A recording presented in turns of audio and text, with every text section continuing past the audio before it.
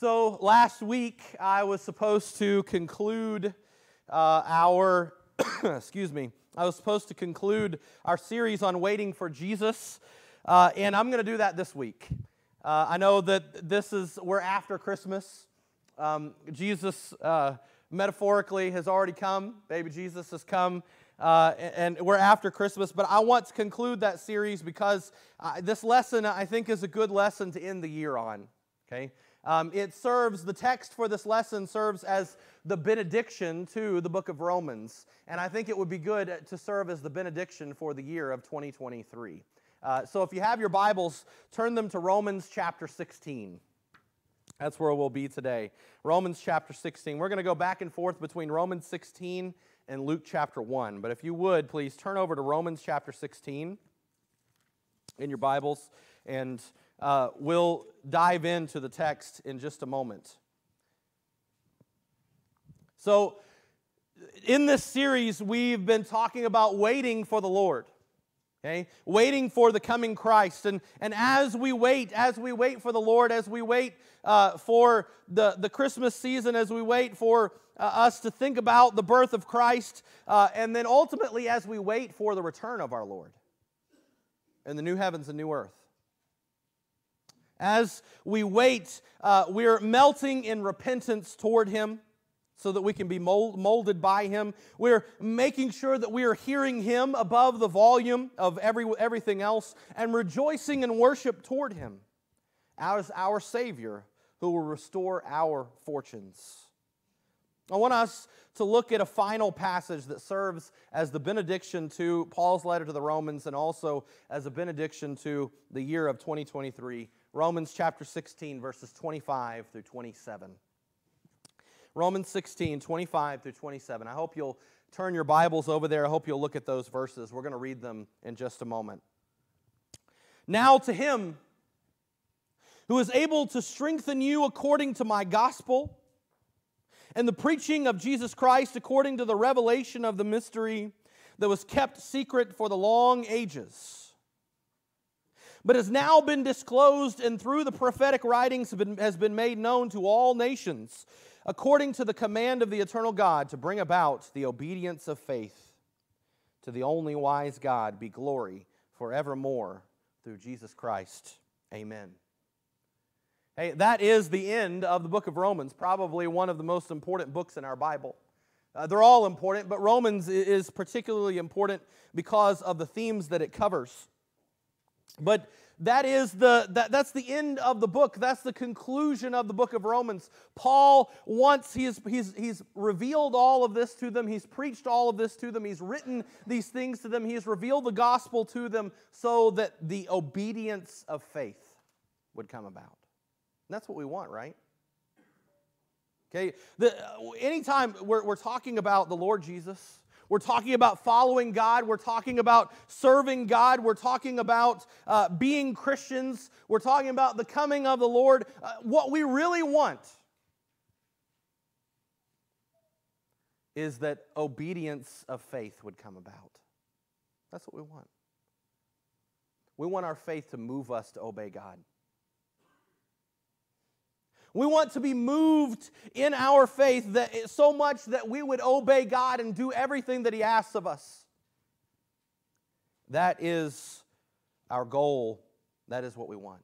And this text talks about that. He, he talks about that, about bringing about the obedience of faith. And Paul says that God will strengthen us to bring about this obedience of faith according to three things. And so that's what I want us to focus on from this text today. Three things. The first thing is strengthened according to the gospel of Jesus Christ. Strengthened according to the gospel of Jesus Christ. Paul says, verse 25, Now to him who is able to strengthen you according to my gospel and the preaching of Jesus Christ. According, three times he says according, okay? According to my gospel and the preaching of Jesus Christ. This specifically is the good news of Jesus. Gospel means good news. But what is the good news of Jesus? What, what really is the good news of Jesus? And furthermore, how does it move us toward obedience? How does good news, how does the gospel move us toward obedience? Those are, are things we need to think about. And, and I think a really good way to think about these things, to think about how the gospel moves us toward obedience, I think a really good way for us to talk about it is to go back to Mary's story when she's approached by the angel in Luke chapter 1. So put a marker, if you have a marker, if you're using a physical Bible. I mean, I suppose you can bookmark a, a digital Bible too. Put a marker there uh, at Romans chapter 16 and, and turn over to Luke chapter 1. We're going to be going back and forth in this lesson quite a bit. Turn over to Luke chapter 1, uh, verse 26. Verse 26. Luke chapter 1, starting with verse 26. We're going to notice uh, what the good news is based on this passage. Okay? Luke 1 26. In the sixth month, the angel Gabriel was sent from God to a city of Galilee named Nazareth to a virgin betrothed to a man whose name was Joseph of the house of David, and of the virgin's name was Mary. And he came to her and said, Greetings, O favored one, the Lord is with you. But she was greatly troubled at the saying and tried to discern what sort of greeting this might be. And the angel said to her, Do not be afraid, Mary, for you have found favor with God. And behold, you will conceive in your womb and bear a son, and you shall call his name Jesus. Now, notice verses 32 and 33. He will be great, and he will be called the Son of the Most High. And the Lord God will give him the throne of his father David, and he will reign over the house of Jacob forever, and of his kingdom there will be no end. Now, I don't know that Mary fully understood the full significance of this. In fact, when you go into Luke chapter 2, it says multiple times she treasured these things up in her heart. I mean, she was thinking about these things. She didn't totally and completely, I don't think, understand exactly what was going on. But this would have been good news to any Jew. To any child of Israel, this would have been good news. The good news of Jesus is that God created a kingdom in which he would rule and humans would reign with him. That's what Adam and Eve were. They were supposed to be his undergovernors who, who named things and, and took care of things and ruled over things. That's what we were supposed to do. Wouldn't it be nice if we were just all really good managers? Okay? I mean, I, like God created us to be. We just, you know, we just managed the world and took care of things and everything was all right and everything was hunky dory. But that would be really, really nice. That would be very nice. But eventually, uh, and, and eventually we would become glorified into sons of God. That was the plan. But through the rebellion of angels and humans, humans lost that right and were banished from God's presence. But God would not let that distance stand. And this is the good news. He chose Abraham and his eventual family to be his treasured possession. And eventually, a king arose from Abraham's family, David, who was after God's heart, and God promised that David's descendants would rule the world from his throne and bring his people back into his presence by atoning for their sins, making them holy, and giving them the right to be called sons of God again. This is the announcement of the birth of this king. This is the announcement of this good news that the, the banishment that human beings experience from God's presence because of their rebellion, that it was not permanent. That God had done something about it, that God had chosen a, a, a nation, and He had chosen a king within that nation, and He had chosen a descendant of that king who would be the king who would take care of the sins of the world and bring us back into God's presence.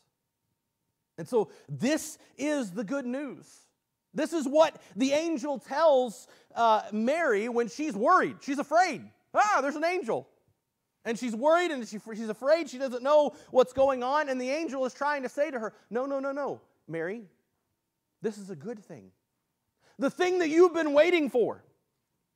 The thing that you've been longing for, the thing that you've been waiting for, the thing that you've been looking for your whole life, that your people have been looking for their whole lives, it is happening and it's happening with you. You're the one. And so, the question how does good news strengthen us toward an obedient faith? And I think the answer to that is that the good news should strengthen you toward an obedient faith because it shows you that Jesus is the answer to the world's woes. Jesus is the answer to the world's woes. He completes our history and gives us hope for the future. Okay? If you have all of your options for hope for the future laid out in front of you, okay? All of your options, hope for the future. Uh, do nothing. Okay, that's an option. You just be nihilists and, and do nothing. Okay. Um, trust science and that we're going to go and live on Mars one day. Okay, that's an option, I guess. Um, uh, you know, pick one of the world's religions. You know, maybe I'll be reincarnated as an animal or something, and that's my, my hope for the future. Okay?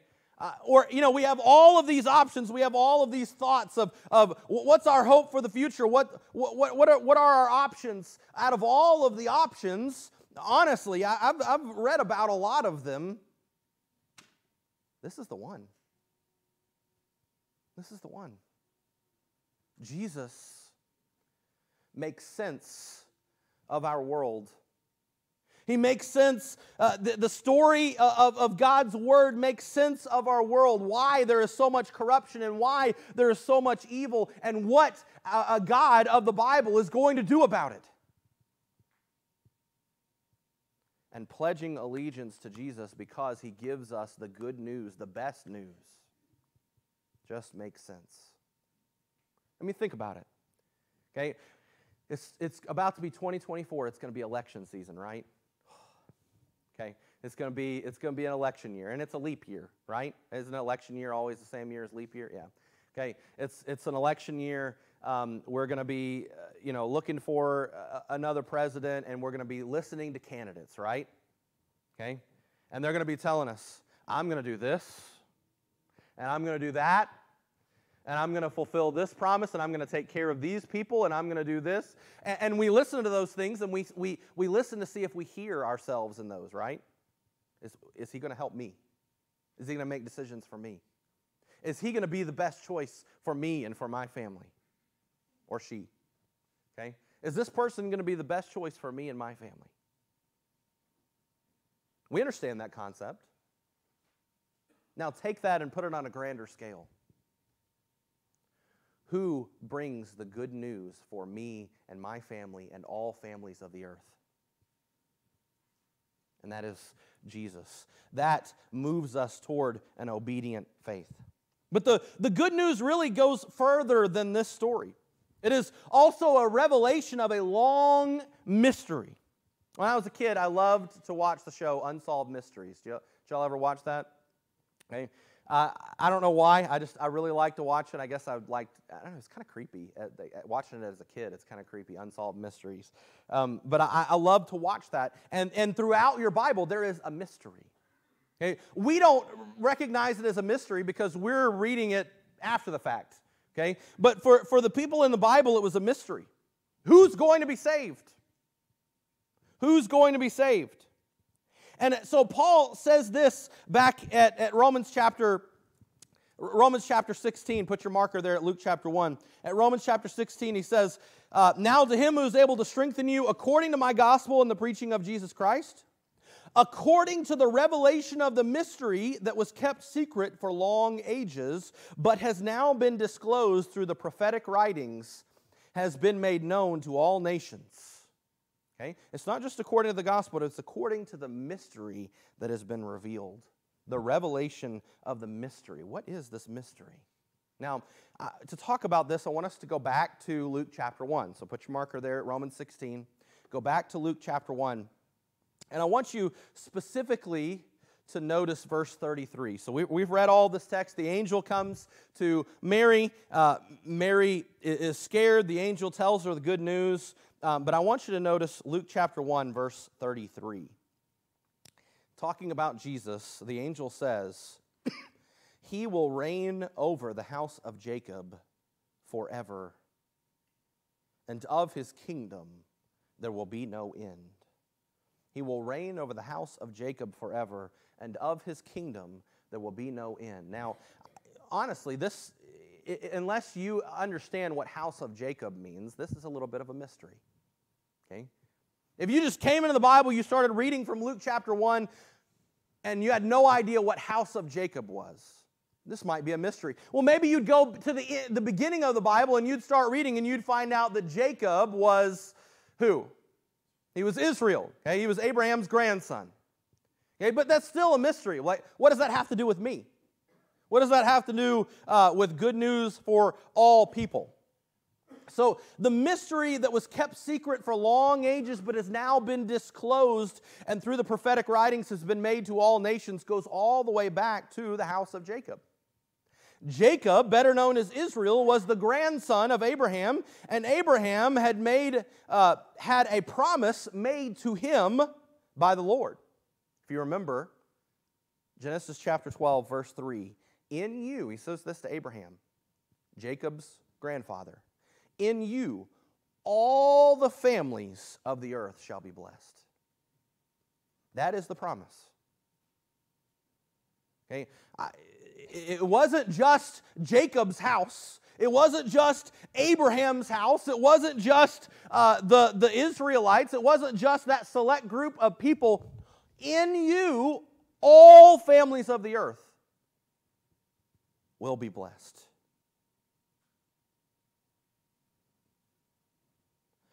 The fulfillment of this promise is the great mystery that was revealed in Jesus. Now, after the fact, we look back and we're like, oh, yeah, that, that makes sense. Okay? But for the people of this time, this was a mystery. His kingdom would have no end, as the text says. Of his kingdom, there will be no end. His kingdom would have no end. It would not end with ethnic Jews. It would not end at any racial or socio political or class or gender or wealth border. All people, big and small, would have the opportunity to bow the knee to King Jesus and enter the kingdom. You see, at the Tower of Babel, God had disinherited all other nations, and he had chosen Israel for himself. The mystery of the gospel is that God all the time was working to bring all those nations back into his inheritance. That's the mystery.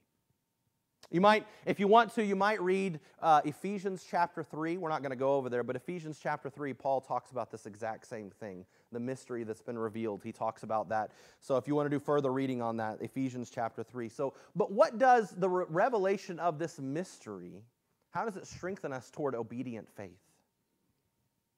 And, and, and the answer is that it strengthens you toward an obedient faith because it shows you that Jesus is the champion of all people, even you. Jesus is a champion of all people, even you.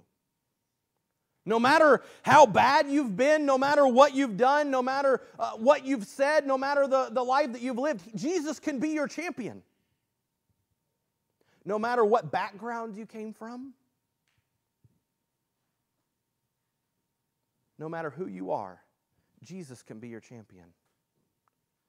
Have y'all ever heard the story this is one that shocks people, and I, have told this before. Have y'all ever heard the story of Jeffrey Dahmer becoming a Christian in prison? Y'all ever heard that story? Okay, I, have shared it with you before. And I, I know that people eh, really, it's hard for us to think about this because what Jeffrey Dahmer did was, was heinous, evil, disgusting, awful. And so the thought that there would be redemption for some like, something like someone like that, and that a person like that might be in heaven, that's hard for people. But that's the gospel. That's the good news. That Jesus is the champion for all. Even those nations that he disinherited at the Tower of Babel, that he said, enough is enough he found a way to bring them back in.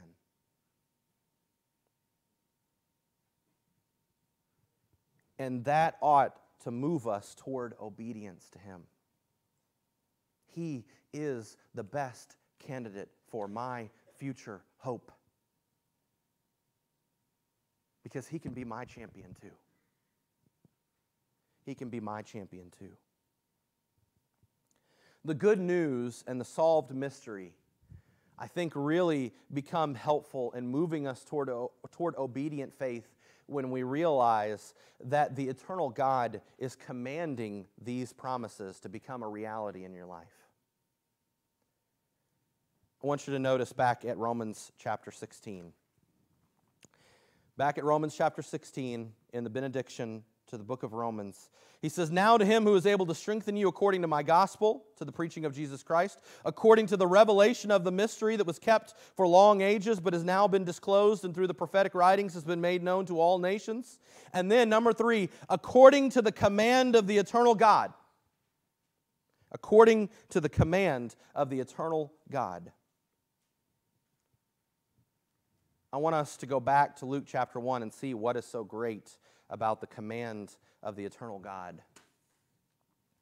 I want you to notice the words in here in Luke chapter 1, verses 31 through 37. Luke 1, 31 through 37.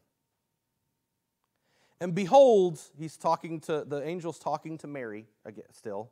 Behold, you will conceive in your womb and bear a son. And you shall call his name Jesus. And he will be great and will be called the Son of the Most High God. And the Lord God will give him the throne of his father David. And he will reign over the house of Jacob forever. And of his kingdom there will be no end.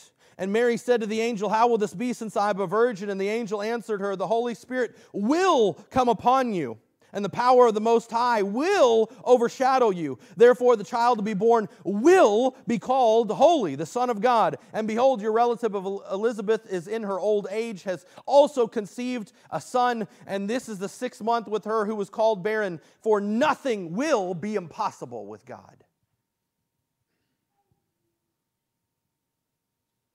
What makes all of this amazing?